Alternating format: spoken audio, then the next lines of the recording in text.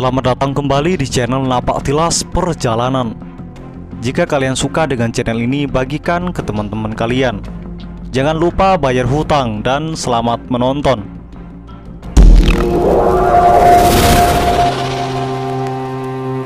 Gerakan Darul Islam atau DI merupakan gerakan politik yang bertujuan mendirikan negara Islam Indonesia yang kita kenal dengan khilafah. Gerakan ini mempunyai pasukan yang disebut Tentara Islam Indonesia atau TII yang sekarang dikenal dengan sebutan DI atau TII.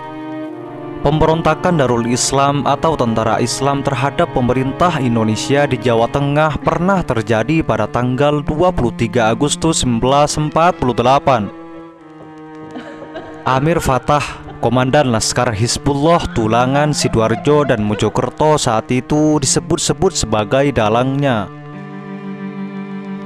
Perjanjian Linggarjati yang dilakukan pihak Indonesia dengan Belanda pasca kemerdekaan November 1948 menimbulkan banyak pertentangan dari berbagai tokoh Islam seperti Kartosuwiryo, Amir Fatah, dan para pengikutnya. Cornelis van Dijk dalam buku Darul Islam sebuah pemberontakan menjelaskan pada Februari 1947 Amir Fatah beserta para pasukan Hizbullah ditugaskan mengawal Kartosuwiryo ketika pergi ke Malang tepatnya untuk hadir sidang paripurna kelima Komite Nasional Indonesia Pusat di kota itu, Amir Fatah bergabung bersama pihak divisi 17 Agustus yang tidak menyetujui perjanjian Linggarjati. Bahkan saat itu ia dinobatkan menjadi kepala staf di pasukan tersebut.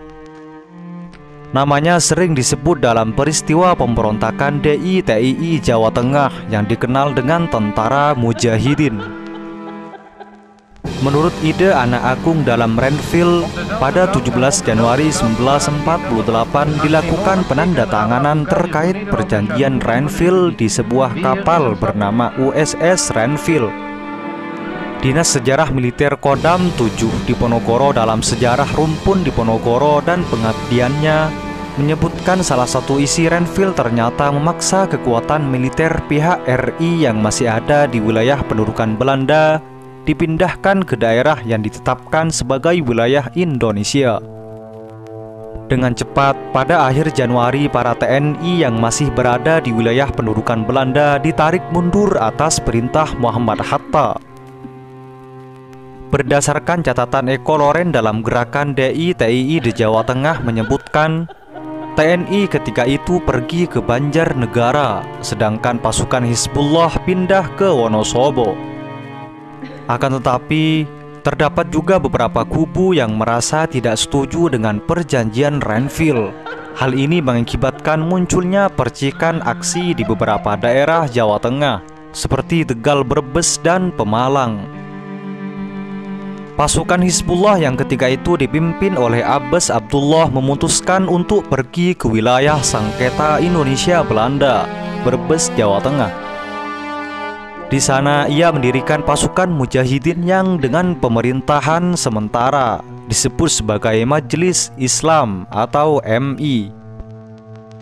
Pada 23 Agustus 1949 bersama teman-temannya Amir Fatah menyatakan bergabung dengan Negara Islam Indonesia NII yang sebelumnya sudah dideklarasikan berdiri oleh Kartosuwiryo di Jawa Barat.